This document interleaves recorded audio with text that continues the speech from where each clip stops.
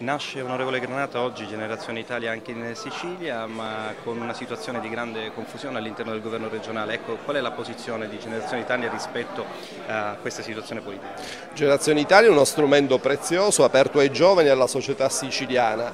Eh, ovviamente non abbiamo presentato a Palermo Generazione Italia per parlare del rapporto col governo regionale, ma come classe dirigente continuiamo a sostenere questo governo, ma diciamo che da questo governo vogliamo qualcosa di più vogliamo un progetto chiaro sull'utilizzazione dei fondi comunitari, un progetto chiaro di coinvolgimento nelle scelte dei ceti produttivi e della meritocrazia, soprattutto dei giovani che escono dalle nostre università. Insomma, noi non abbiamo firmato una cambiale in bianco al governatore Lombardo che sosteniamo lealmente, ma riteniamo che dobbiamo far partire una nuova fase dell'azione del governo che sia all'altezza delle aspettative anche di ciò che le potenzialità di questo governo per le professionalità che ha al suo interno possono esprimere esprimere. Generazione Italia, che sia, lei ha detto, arcipelago di idee, di, che abbia questa capacità di ascolto che oggi forse il PDL non ha avuto?